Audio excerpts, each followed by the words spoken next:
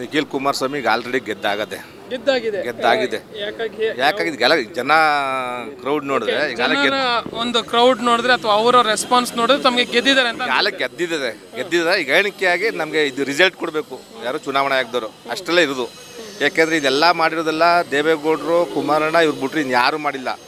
ನಮ್ಮ ಯೋಗೇಶ್ಪುರರು ಪಾಪ ಅವರು ಈಗ ಬಿ ಜೆ ಪಿಲಿದ್ರು ಈಗ ಆ, ಕಾಂಗ್ರೆಸ್ಗೆ ಹೋಗವ್ರೆ ತಪ್ಪು ಅಂತ ಹೇಳಿ ಅವ್ರ ವೈಯಕ್ತಿಕ ಅದು. ಇಲ್ಲಿ ಆಲೆ ಗೆದ್ದಾಗೈತೆ.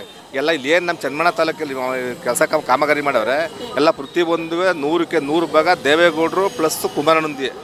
ಅರ್ಥ ಆಯ್ತ್ರೆ? ಇಲ್ಲಿ ಯಾರ್ದು ಏನು ಏನಿಲ್ಲ. ಡಿ ಕೆ ಶಿವಕುಮಾರು ಮತ್ತು ನಮ್ಮ ಇದು ಏನೋ ಡಿ ಕೆ ಸುರೇಶ್ ಒಂದು ಸ್ವಲ್ಪನೂ ಏನಿಲ್ಲ. ಅವ್ರದ್ದಂತೂ ಏನಿಲ್ಲ ಬಿಡಿ.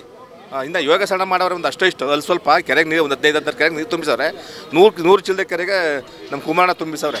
ಅದು ಅದು ಅಲ್ಲಿಗೆ ಹೆಚ್ಚು ಕಡಿಮೆ ಒಂದು ಇಪ್ಪತ್ತು ಐವತ್ತು ಪರ್ಸೆಂಟ್ ಜಾಸ್ತಿನೇ ಆಯಿತು ಅದು ಯೋಗೇಶ ಪ್ಲಸ್ ಇವ್ರದ್ದು ನಾವು ಡಿ ಕೆ ಶಿವಕುಮಾರ್ ಮತ್ತು ಡಿ ಕೆ ಶಿವಕುಮಾರ್ ಒಂದು ಸ್ವಲ್ಪನೂ ಏನೂ ಇಲ್ಲ. ಅದು ಬೇಕಾದ್ರೆ ಎಲ್ಲಿ ಬೇಕಾದ್ರೆ ನಾವು ಹೇಳ್ತೀವಿ. ಐದು ಸಲ ಮನ್ನಾ ಮಾಡವ್ರೆ ಮತ್ತು ಈ ಬಡವ್ರ ಬಗ್ಗೆ ಅವ್ರ ಮನೆ ತಕ್ಕ ನೂರು ಜನ ಇನ್ನೂರು ಜನ ಹೋದ್ರೆ ನಮಗೆ ಚೆನ್ನಾಗಿ ಸ್ಪಂದನೆ ಮಾಡ್ತಾರೆ. ನಿಖಿಲ್ ಅವರು ಅಷ್ಟೇ. ಈಗ ಆಲೇ ಎರಡು ಸೋದಿ ಪಾಪ ಸೋತವ್ರೆ. ದಯವಿಟ್ಟು ನಮ್ಮ ಚನ್ಮಣ ಜನತೆ ಎಲ್ಲ ಗೆಲ್ಸವ್ರೆ. ಅದ್ರ ರಿಸಲ್ಟ್ ಬೇಕಷ್ಟೇ ನಮಗೆ. ನಿನ್ನೆಯಿಂದ ಎಚ್ ಡಿ ದೇವೇಗೌಡರು ಕೂಡ ಚುನಾವಣಾ ಅಖಾಡಕ್ಕೆ ಎಂಟ್ರಿ ಕೊಟ್ಟಿದ್ದಾರೆ. ನಿನ್ನೆಯಿಂದ ಪ್ರಚಾರ ಮಾಡ್ತಾ ಇದ್ದಾರೆ. ಏನು ಹೇಳ್ತೀರಾ? ಸರ್ ಈಗಾಗಲೇ ಎಚ್ ಡಿ ದೇವೇಗೌಡರು ಚನ್ಮಣ ಬಂದು ಬಂದು ಯಾವಾಗ ಇಳಿದ್ರು ಆವಾಗಲೇ ಅವ್ರಿಗೆಲ್ಲ ಸಳಿ ಜರ ಬಂದ್ಬಿಡಿದ್ರೆ ಅರ್ಥ ಆಯ್ತ್ರೆ. ಸಳಿ ಜರ ಅವ್ರನ್ನ ಈ ಆಳಿಸೋದು ಈಗ ದೇವ, ಈಗ ಅವರು ಆಂಬುಲೆನ್ಸಲ್ಲಿ ಕರ್ಕೊ ಸ್ಥಿತಿ ಬರ್ತದೆ. ದೇವೇಗೌಡರು ಆಂಬುಲೆನ್ಸ್ ಕರ್ಕೋದ್ರೆ ಈಗ ನಾವು ಈಗ ನಾವು ಹುಡುಗರಾಗಿವಿ. ಈಗ ಅವ್ರು ನಾವು ವಯಸ್ಸಾಗಲ್ವೇ? ಅರ್ಥ ಮಾಡ್ಕೊಳ್ಳಿ, ನಾವು ವಯಸ್ಸಾಗಲ್ವೇ? ನಮ್ಗೆ, ನಾವು ಮುತ್ಕಾಯ್ತೀವಿ ಅದ ಯಾವತ್ತೇಳಿ ಒಬ್ಬ ಮನ್ಸನ್ನ ಕಿಂಡಲ್ ಮಾಡಬಾರ್ದು. ಈಗ ಇದೆ ಮಂಡ್ಯದಲ್ಲಿ, ಈ ಕುಮಾರಣ್ಣನ ಕಿಂಡಲ್ ಮಾಡಿದೆ ಯಾರೋ ಸೂರ್ಯ ಬಂಡಿ ಸಿದ್ದೇಗೌಡ ಅಂದ್ಬಿಟ್ಟು. ಏನಾಯ್ತರಲ್ಲಿ ಅರ್ಥ ಮಾಡ್ಕೊಳ್ಳಿ. ಅದೆಲ್ಲ ಒಂದಿನ, ಮೂರು ದಿನಕ್ಕೆ ಆಪ್ರೇಷನ್ ಮಾಡ್ಕೊಂಡು ಈಚೆ ಬರ್ತಾನೆ ಅಂದರು. ಅದು ಅದು ಅವರು ಏನು ಅವ್ರ ಪುಣ್ಯ ಅದೇ ಬರ್ತಾರೆ. ಅವೆಲ್ಲ ಮನ್ಸನ್ನ ಒಬ್ಬನ ಕಿಂಡಲ್ ಮಾಡಬಾರ್ದು. ಇಲ್ಲಿ ಪಕ್ಕ ಜೆ ಡಿ ಎಸ್ ಬೆಲ್ಟು ಇನ್ನೂ ಇಪ್ಪತ್ತೈದು ವರ್ಷ ನಮ್ಮ ನಿಖಿಲ್ ಅಣ್ಣನ ಗೆಲ್ಲೋದು. ಸರ್ ತಮ್ಮ ಹೆಸರು ಯಾವ ಊರಿಂದ ಬಂದಿದ್ದೀರಾ? ಆ, ನಾವು ರಮೇಶ್ ಅಂತ. ನಾವು ಇಲ್ಲೇ ಚನ್ನಪಟ್ಟಣ ಬಾರ್ಡ್ರ್ ಓಕೆ ಹೇಳಿ ಆ, ನಿಖಿಲ್ ಕುಮಾರಸ್ವಾಮಿ ಅವರ ಗೆಲುವಿನ ವಿಶ್ವಾಸ ಎಷ್ಟಿದೆ? ಬಹಳ ಬಹಳ ಖುಷಿ ಇದೆ. ಅವ್ರು ಗೆದ್ದೇ ಗೆಲ್ತಾರೆ ಅಂತ ಯಾಕೆ ಅಂದರೆ ಯುವಕ ಅವ್ರ ತಂದೆ ಅವ್ರ ತಂದೆ ಮತ್ತು ಅವ್ರ ತಾತ ಮಾಡಿರೋಂಥ ಅಭಿವೃದ್ಧಿಯನ್ನು ನೋಡ್ಕೊಂಡು ಇವತ್ತು ಜನಗಳು ಓಟ್ ಹಾಕಬೇಕು. ಅವ್ರನ್ನ ಇಲ್ಲಿ ಸ್ಥಳೀಯವಾಗಿ ಈ ಕ್ಷೇತ್ರದಲ್ಲಿ ಕಂಟಿನ್ಯೂ ಆಗಿ ಎಂ ಎಲ್ ಎ ಮಾಡ್ಕೋಬೇಕು ಅಂತ ಇದ್ದಾರೆ ಅವಕಾಶ ಇದೆ. ರಾಮನಗರ ಇರ್ಬೋದು ಮಂಡ್ಯ ಇರ್ಬೋದು ಏನು ಕಳ್ಕೊಂಡಿದ್ರೋ ಆ ವಸ್ತುನ ಇಲ್ಲಿ ಉಳಿಸ್ಕೋತಾರೆ. ಈ ರಾಜ್ಯಕ್ಕೆ ಮತ್ತು ಈ ರಾ ಈ ಕ್ಷೇತ್ರಕ್ಕೆ ತುಂಬ ಒಳ್ಳೆಯದಾಗ್ತದೆ ನಿಖಿಲ್ ಕುಮಾರಸ್ವಾಮಿ ಅವರಿಂದ ಶಾಸಕರಾಯ್ತಾರೆ ಯಾಕಾಗಿ ಅಷ್ಟು ನಂಬಿಕೆ ನಿಖಿಲ್ ಕುಮಾರಸ್ವಾಮಿ ಅವರು?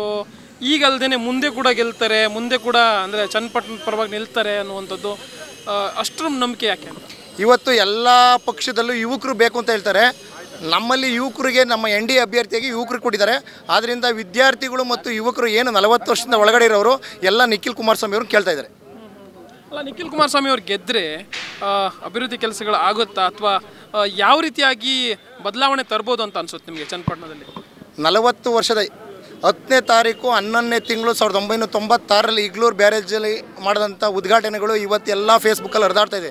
ನಲವತ್ತು ವರ್ಷದ ಹಿಂದೆ ದೇವೇಗೌಡರು ಮಾಡಿರೋಂಥ ಅದಾದಮೇಲೆ ಅವ್ರ ತಂದೆ ಕುಮಾರಸ್ವಾಮಿ ಅವರು ಮಾಡಿರೋಂಥ ಸತ್ಯಗಾಲದ ಯೋಜನೆ ಇರ್ಬೋದು, ನೂರ ಏಳು ಕೆರೆ ನೀರು ತುಂಬಿಸಿರೋದಿರ್ಬೋದು, ಸ ರೈತರ ಸಾಲ ಮನ್ನಾ ಮಾಡಿರೋದಿರ್ಬೋದು, ಸಂಧ್ಯಾ ಸುರಕ್ಷಣೆ ಇರ್ಬೋದು ಬಡವ್ರ ಬಗ್ಗರಿಗೆ. ಅನೇಕ ಕಾರ್ಯಗಳು ಹೇಳ್ತಾ ಹೋದರೆ ಗಂಟೆಗಟ್ಟಲೆ ಬೇಕಾಯ್ತದೆ ಆ ಕಾರ್ಯಕ್ರಮಗಳನ್ನ ದಿನ ಬೆಳಗ್ಗೆ ಎದ್ದೆ ಅಂದರೆ ಅವ್ರ ಮನೆಯಲ್ಲಿ ನೋಡ್ತಾ ಅಂತ ಕುಮಾರಸ್ವಾಮಿಯವರು, ನಾನು ರೈತರು ಮಾಡಬೇಕು, ರೈತರನ್ನ ಉಳಿಸ್ಕೋಬೇಕು, ಈ ರಾಜ್ಯ ಉಳಿಸ್ಕೋಬೇಕು ಅನ್ನೋ ಒಂದೇ ದೃಷ್ಟಿಯಿಂದ ಇಲ್ಲಿನ ಜನಸಾಮಾನ್ಯರು ಮತದಾರ ಪ್ರಬುದ್ಧ ಮತದಾರರು, ಕು ನಿಖಿಲ್ ಕುಮಾರಸ್ವಾಮಿ ಅವ್ರನ್ನ ಗೆಲ್ಲಿಸಲೇಬೇಕು ಅಂತ ಪಣ ತೊಟ್ಟಿದ್ದಾರೆ.